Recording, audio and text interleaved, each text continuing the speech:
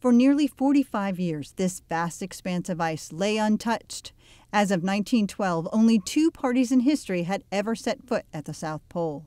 Roald Amundsen of Norway, followed by Great Britain's Robert Falcon Scott. Scott's party died during their trek back on foot across this harsh continent. Then, in November of 1929, Richard E. Byrd became the first to fly over the South Pole, never landing, and returned safely to Little America. But on October 31, 1956, seven U.S. naval aviators did what many thought was impossible. They landed a plane for the first time at the bottom of the world.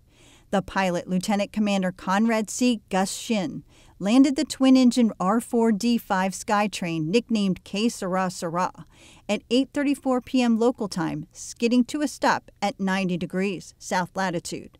With engines running to avoid freeze up, U.S. Navy Admiral George J. Dufek, commander of Operation Deep Freeze, quickly stepped out onto the frozen terrain and planted the Stars and Stripes at the South Pole. After 49 minutes on the ice, the crew left Pole and returned to what is now the National Science Foundation's McMurdo Station. The flight not only proved that a remote station could be supported by air, but opened up the continent to scientific discovery. Many more flights would follow, bringing construction materials and cargo needed to build the first of three research stations that would be built on the continent over the years.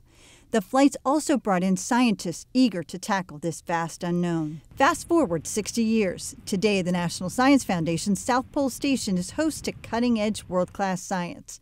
Planes routinely fly to and from the bottom of the world carrying researchers, instruments, and other cargo. Here, scientists study the Earth's atmosphere, the origins of the universe, and even the elusive subatomic particles called neutrinos none of which would have been possible had it not been for Gus Shinn and his team and that historic first landing.